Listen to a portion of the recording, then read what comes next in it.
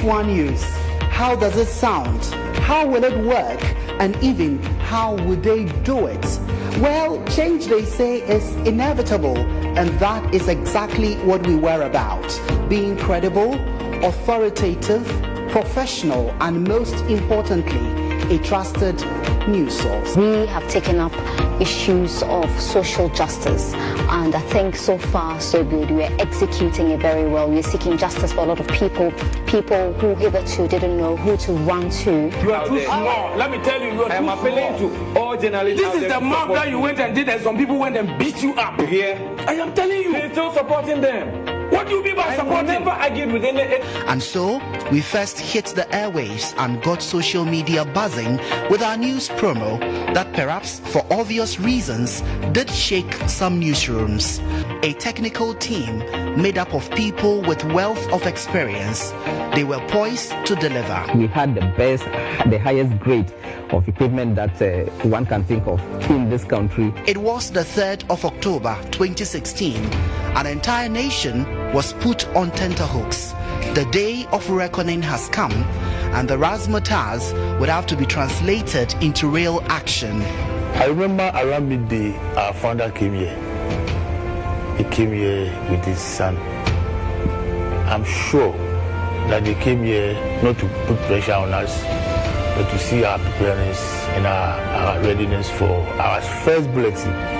Producer at the time, Jojo Kobna, had the arduous task of putting together all the compelling content. Content that would hold viewers spellbound for the entire week and even subsequently. Around that time, I mean, election campaigning was on. Everyone else was talking about politics, politics, politics. We wanted a, very, a social story that everyone relates to. After all was said and done, the bubbly, energetic, beautiful, and ever eloquent Nana Aba Anamoah was sure to be in her element. Indeed, she was a delight to watch. Welcome to GH1 News Tonight. Coming to you live from the Platinum High Studios in Accra.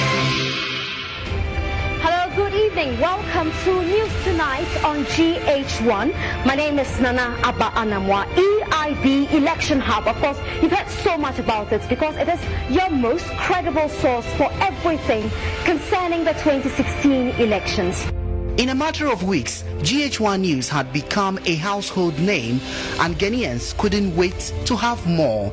But the team already had a package for them, and that was Newsroom with a ravishing Keminni Amanor. Pulsating presentation, Isaac, you were telling us what else you know about this story. Uh, go ahead.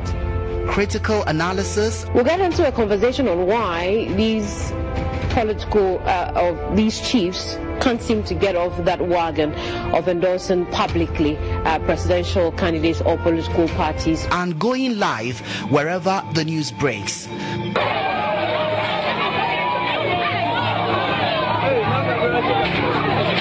I remember last year, before the election, he called us and told us that Mahama, former President Mahama, is discriminating. But as for him, when he comes to power, he will not discriminate.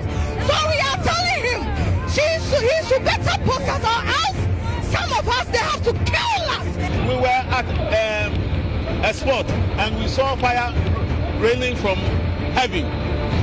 Boom!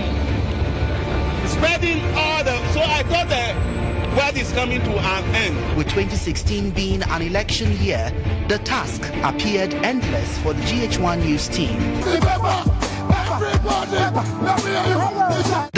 EIB Election Hub campaign had gone viral, and once again, expectations were riding very high.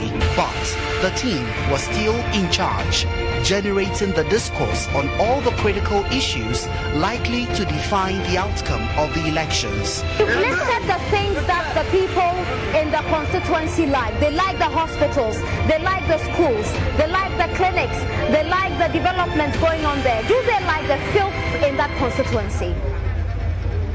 Well, you know, development is a process.